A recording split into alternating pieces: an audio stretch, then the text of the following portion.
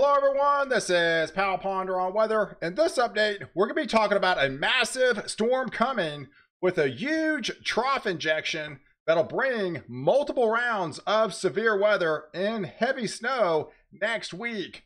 Welcome back everyone. How's it going? We got a lot to talk about this morning. So let's kind of delve into the details and look at the overall surface map for today on your Friday, the 11th and which we can see we've got blizzard warnings happening right now. They're about to expire in uh, North Dakota, but we got some cold Arctic air well to the north. It's 21 degrees when I'm recording this video at 10 o'clock in the morning up in uh, Minneapolis, but it's got some rain down to the south of Chicago, and we're gonna be watching this uh, cold front take a beeline southward and it will modify over time because it's plenty of warm air to today but that's going to be changing in a big way for tomorrow. So let's take a look at the overall nam on our snow that's going to be coming up for portions of the northeast and this snow event really just never came to fruition. I mean it never these systems never really kind of phased together and it's going to be way too progressive to amount to really anything. So but yeah, there are going to be some snow showers breaking out by the time we get into Saturday night into portions of uh, Tennessee here as well as Kentucky. That'll feed into portions of really in the higher elevations of Virginia and West Virginia, going into uh, Delaware. And this will eventually get into portions of South Jersey. We're not talking about heavy snow here. We're just literally light to moderate, light, really light snow.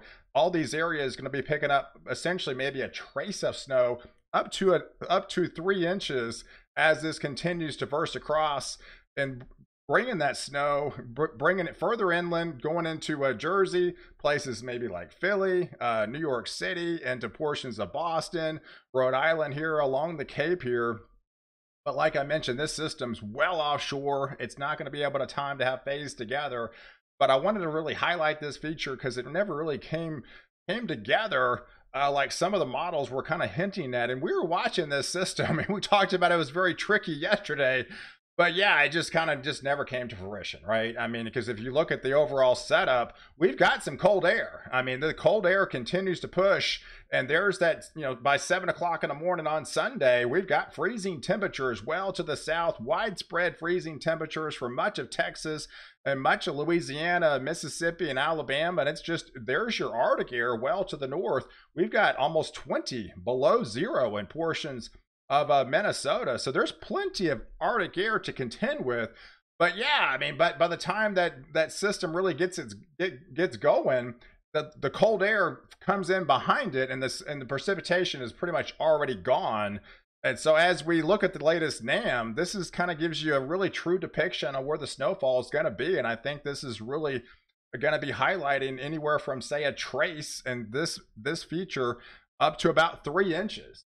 So yeah, I mean, you could be picking up a dusting. If you're lucky, you're going to get three inches out of this system, but really not amounting uh, to much. But yeah, as as we continue the view, let's take a look at next week because we got a lot to talk about next week because it looks really active. We talked about it's going to be looking really interesting. Now the pieces of the puzzle are really coming together that we could be looking at a multi-day a severe weather event as this really starts to ramp up. So, yeah, that cold front comes in Sunday, but it's going to quickly modify as the winds turn around from the southwest. And so by Monday afternoon, you're back to where you are today. I mean, you're talking 70s back into Texas and uh, portions of Louisiana with that high pressure going to be dominating. And this will be just lifting off further off into the north as we go through the week. But our main attention is going to be turned off to the Pacific Northwest as we've got this diving feature coming on off of Alaska here. That's going to be entering the Pacific Northwest. System colder air uh, to it as well, but it's going to be developing a massive trough, trough that's going to be setting the stage for our severe weather uh, event starting on the day on Wednesday. But before that, we have to highlight the PNA, and this is the reason why we're going to have a pattern flip because uh, the Pacific North American uh, goes negative and actually remains negative for the next week or two. So we're going to be looking at these troughs kind of lining up and, and, and coming in off the Pacific Northwest and diving southward as the ridge will start building eastward, and that's puts you in puts you in the warm sector with the trough at west. That's typically indicative of some severe weather that's going to be coming to fruition as we get into the middle of uh, next week. So as we look underneath the hood and look at some of these uh, vorticities, we can definitely see that system coming into portions of Washington and uh, Oregon here in northern parts of California. That's going to be our developing system, our trough. And underneath that, you are going to have some instability. There's really not any like true Arctic air uh, next week as the jet stream is going to be lifting well to the north. But underneath that cold core, it's going to bring some colder air but it's also going to bring some showers back in the picture in places like Seattle, going into Portland, and into the higher elevations. You are going to be getting some snow again. But once this moves uh, southward on on later in the day on Tuesday, that ends, right? It's just maybe a, a one day hit for you guys as this vorticity will push southward. And as it does, you're going to be drying out on the backside, but that's going to be intensifying this low level uh, trough. And as it gets into the Four Corners regions on the day on Wednesday, that's when it's really going to start get really getting its act together and pulling in some of this uh, warm water, waters here off off the ocean here. And when it's able to do that and tap into some of that southwest winds, that's when it's going to be able to set the stage for some severe weather as we get into Wednesday night. But before that, to the north, We've got that low pressure system. It's going to be able to ring some snow showers out into places like Arizona, back into places like Montana, where it has been really dry. So you can definitely see we're seeing a pattern shift. That will shift down into Wyoming. This will eventually set up over the Rockies, get into places like Denver, where they've been well below average this year for snowfall. So we are going to be looking at some snow coming back for them. So as this continues to move across into the east, and as we get into Wednesday night, I think that's when things really start to get act- active with this low level moisture setting up off the south of Texas here, with that trough really starting to dig in. And out ahead of it, there's the warm sector. So you can see the ridge really starting to build here. These temperatures will start to elevate and really start bringing in the dew points as well. The dew points come back in the 60s and a lot of these areas. And once it's able to tap into some of that uh, low level moisture, that's going to set the stage for our severe weather. And just to the north of that, that's your deformation zone. That's going to be the northwest zone here underneath that low pressure system. That's where some of the heavier snow will be flying into Colorado. That'll get into portions of New Mexico as well as the Texas panhandle, going going into uh, Wednesday night. But you can see where the warm sector is. You got the trough coming in off the west. As this moves across, it's got some some cold air associated with it.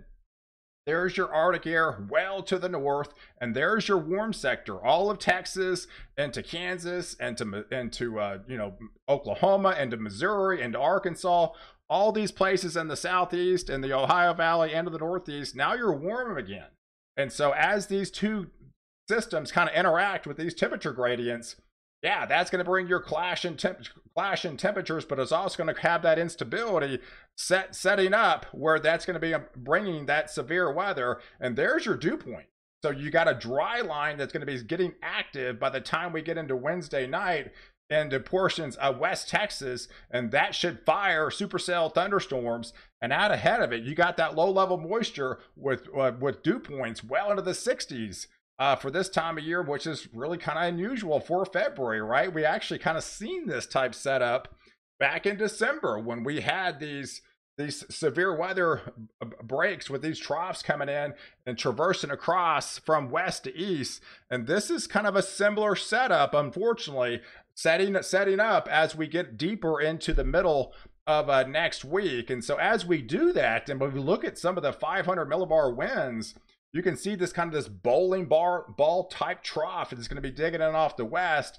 And once it pulls in some of that moisture off the ocean here, it's going to create that lift.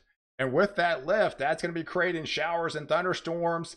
And these are going to be rotating potentially thunderstorms as well because if you look at the 850s, it's got a lot of vertical shear setting up over places like North Texas, getting into Oklahoma, into Arkansas, back into Louisiana, and back into Central Texas as well. And that's even this far out. That's why the Storm Prediction Center has already highlighted a slight risk for severe weather, you know, even five, six days from now. So that's why the, the global models are really all coming together, even this far out, and saying, hey, this is coming to fruition. And we've already got enough confidence, even at this far out, this stage, to put a slight risk for severe weather. And that's going to be uh, in places know, down into College Station, going back into Waco, back into Weatherford, all of North Texas, into East Texas, into Tyler, into Shreveport, headed into Hot Springs, all the way up to Fayetteville, back into uh, Ardmore, you know, Ardmore, Oklahoma. So all this area will be under the gun for your severe weather as we get into that Wednesday night. And I think the overnight time frame into a Thursday morning, but this will just continue off to the east. So it doesn't really end there. It just really kind of amplifies more. So now as this pushes east, now we're going to be setting the stage a little bit further east, and we're talking places in more more into Louisiana, getting into Mississippi, getting into places into uh, Alabama with that lift. But like I mentioned, to the north of that, you're going to have your snow. So as we get into that Wednesday Wednesday night and the overnight Thursday morning time frame, we've got a lot of snow breaking out into places of Wyoming into uh, Colorado. This is on the northwest side of this system. Underneath of that, you've got that lift, and these darker greens has been bone dry in a lot of these areas in Oklahoma and to Texas. So this these are welcome rains, but unfortunately, it's going to come in the form of severe weather on, on coming up on a, a Wednesday night, going into the overnight hours. And then uh, back, you know, like I mentioned, to the northwest side of this, we're going to be having some heavier snow breaking out, not only in the Texas panhandle, but back in Iowa, getting into portions of Wisconsin as we get into that Wednesday time frame and just as this just really amplifies as this low level jet amplifies underneath this snow will amplify to the northwest of it. Now we're getting those darker blues with those heavier snows. And typically, right here, uh, right on the northwest flow of this, that's where you can be setting these tight isobars, these really tight uh, gradients here with those heavier snows dumping, you know, one, two inches per hour. Snowfall rates is definitely not out of the question as this will continue to really amplify and push off uh, to the east. And as it does that, the Storm Prediction Center, even yes, this is next Thursday, right? This is a long ways out, but they still feel confidence at this point. All the global models are all really coming together, even this far out, and saying, hey, this severe threat is the real deal, and we're going to need to warn people well in advance. So I'm giving you guys plenty of advance warning. This is not really, we're talking, you know, next Wednesday and Thursday. This is Friday, guys. so so yeah, by Thursday we could be looking at some severe weather going into uh, Monroe, getting p- pretty much all of Mississippi, even including the portions getting you know reaching towards uh, the Birmingham, Alabama area, getting into Nashville, going up to uh, you know western Kentucky, western Kentucky here, portions of Missouri, pretty much all of Arkansas is going to be under the gun for that severe weather as this would just continue uh, pushing off to the east. And as it does so, it's just kind of really too far out by Friday. Of course, you're talking seven days. If any of this could be severe at that time frame, but this will just continue to push across, and this looks to be a very active week next week. So definitely, if you live in these zones, make be weather aware as you come into the come into that time frame on that Wednesday and Thursday time frame. You've got plenty of time to plan ahead and to know, you know, kind of know what to expect and have your NOAA weather radios handy for this particular setup and get your cars in the garage as well and uh, make plans accordingly and have your safe zone in place. So, hey, I appreciate you guys watching. I will definitely keep updated and fine tune this system as it gets closer. Uh, enjoy your enjoy the rest of your Friday. I appreciate you watching. Don't uh, catch me in the next video where I protect you before and after the storm.